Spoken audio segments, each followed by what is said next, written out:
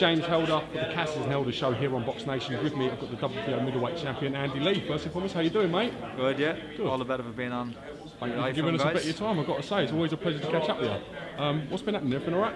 Everything's good. Training hard and um, getting ready for the fight. Mm-hmm.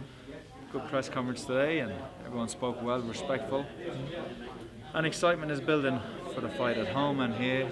And um, I can't wait to get over there. And, you know, fight week. I'm really looking forward to it. Facing mandatory challenger Billy Joe Saunders in Limerick. How, how highly do you rate Billy Joe Saunders, Andy? He's there um, on merit. He's number one contender on merit. He's beaten Eubank Jr., he's beaten Ryder, he's beaten Blackwell, and all other guys in between, you know. So he's there by merit. He's a genuine contender. So I have to take him, no, take him serious as, as, as you would, you know. And um, believe me, I'm leaving no stone unturned. I'm doing everything I can in training. Adam Booth's got the plan, and I'm ready to implement it. How do you think he compares in terms of opponent levels of Jackson, Matvey Korobov to, to Peter Quillin? How do you think he, he compares to them guys? He's up there. They're all. On, they're, I would say they're all on the same level. Um, I've been fighting at a high level, you know, especially the last year. Um, Jackson undefeated, number four in the world. Carvel number one in the world, undefeated. Peter Quillin undefeated, number one in the world. And I've come through all those fights. And I'm fighting Billy Joe Saunders, undefeated, one in the world. And um, this is nothing new to me. I've seen it all before. Um, but for him, it is something new, and that, that could be the difference in the fight. Um, but it will be. It's going to be a good fight. There's a lot of a lot of subplots. There's a lot on the line. Pride, a lot of pride at stake, and um, neither are going to want to lose.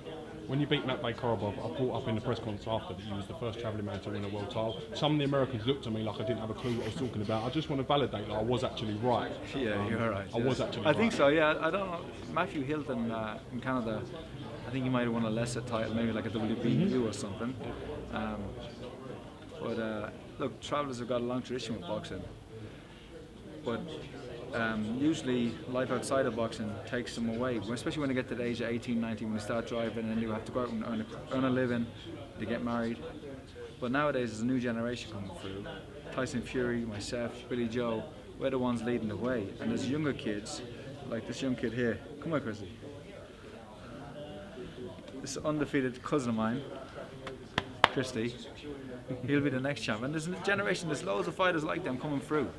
And they're going to be training with the dedication. Like, one thing, no, traveling boys get to a certain level where they're winning all the ABAs, they're winning all the All-Irelands, they're winning everything, internationals, and then they then they get married and they walk away. But nowadays, they can see there's a career in it, and they see there's a life in it, and they're going to go on beyond what anything I've done. I mean, there's so many subplots to this fight. There's the both of you being Olympians. Mm. There's both of you being travellers. There's so many little twists and turns in this And you fight. got, it makes got, it so interesting. Yeah, and you got? Adam Booth and the Tibbs, who are, you know, probably the two best, I would say, the two best coaches, coaching teams in, in the game. One, like, um, Jimmy Tibbs, knowledgeable, probably forgot more about boxing than most people ever know. And um, the old school, and really, you know, just knows fight, it's in his blood. And you got Adam, who's very deliberate, very concise, the new wave, almost, you know, the science of boxing. And uh, it all makes for an excellent fight. When you ask Adam Booth a question, does he answer it with a question, or does he just do that to me and Kugan? I think he does the Cougar more so. Uh, but he doesn't just like When, Cougar. when are you going to fight a real, real traveller, Andy? and try and take this belt off me. When do you want to fight a real man? I'm sorry, Andy. I can A only real man. apologise. Listen, Forget Billy Joe Saunders. What do you find a real travelling man like me? put the money up. I'm from Mimerick, which is near Limerick. He was in Limerick last week and he was saying, Oh, I'm uh, happy to be in Mimerick, Mimerick. I had to correct him. Take a look at it, Andy. It's the last time you'll see this bloody belt. Is that, is that, is that an Irish? is that an Irish or a pirate accent? Andy, I'm so sorry. Now you see what I have to deal with on a day-to-day basis. Honestly, man's like a big 12-year-old. Um, closing thoughts. Fantastic, fantastic for Limerick to have this here. See, we can now see the hopefully the exhibition of Katie Taylor being on the card. It, it all adds to a big super event, doesn't it?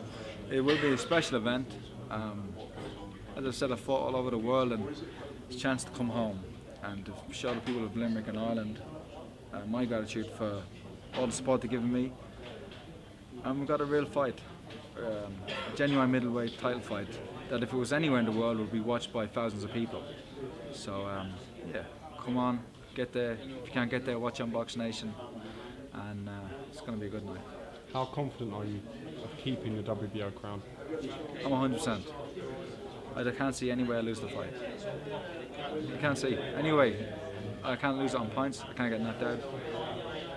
I'm just um, adamant I'm going to win. How I win is the question, not if I win. Any predictions on how you will win?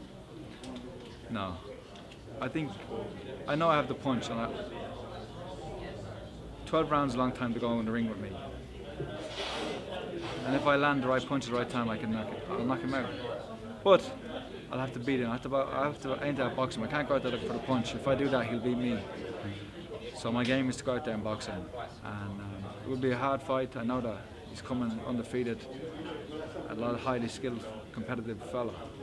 It's going to take a lot of beating, but I'm re- ready to do it. All right, well, listen, can't wait to see two travelling men contesting a world title. It's a fantastic fight, and uh, thank you for giving us a bit of your time today. Thanks, man. Cheers, James.